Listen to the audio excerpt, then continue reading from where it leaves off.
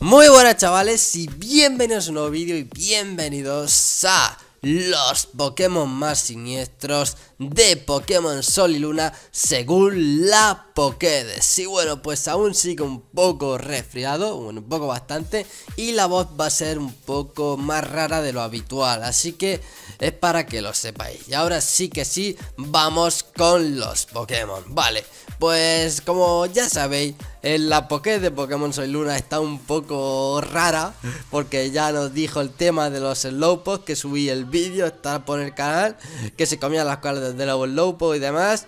Y bueno, pues que no más si... Y hay más cosas que nos dice que son muy, muy raras y siniestras. Pero bueno, vamos a empezar con una serie de Pokémon como son Primeapp, que nos comenta ha sido observado ataques de ira tan fuertes que resultaron en su propia muerte. De todas formas, su rostro después de fallecido luce en paz. Como veis, son muy pero que muy siniestros. Vamos con Gengar.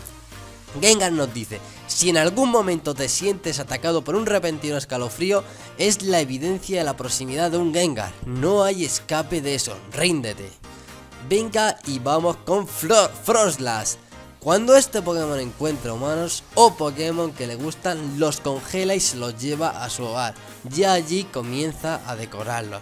Como veis, lo que llevamos son cosas muy siniestras. Esto es de lo más siniestro que he encontrado en el tema de, Pokémon, tanto tipo fantasma como tipo lucha. Y ahora vamos con un Pokémon nuevo como es Mimikyu.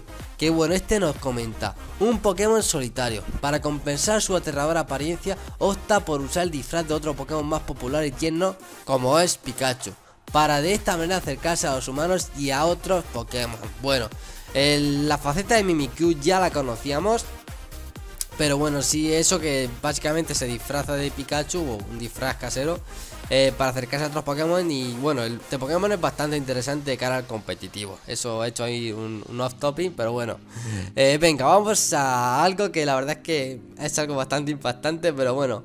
En el tema de la mega evolución de ciertos Pokémon nos pone eh, estas dos cosas que, que son bastante escalofriantes y siniestras. Pero bueno, vamos a empezar con la primera.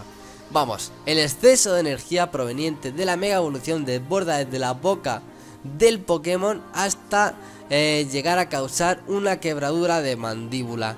Eh, en este caso es Gali, que lo he buscado, es este Pokémon es eh, Gali.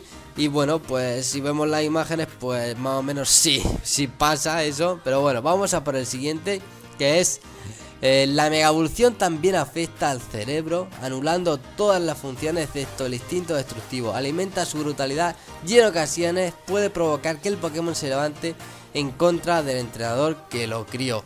Eh, esta también es bastante escalofriante. Eh, pero bueno, son cosas son cosas que, están implementando en este juego. No sé, le, están añadiendo la verdad es que más emoción, pero bueno.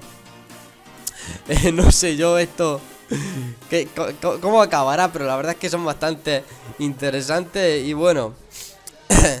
bueno, espero que os esté gustando este vídeo y como siempre ya sabéis que podéis apoyar con un pedazo de like si queréis más cosas de este estilo. Tengo una lista de ideas que tengo un montonazo de ideas. Quiero empezar con una serie que va a ser bastante complicada.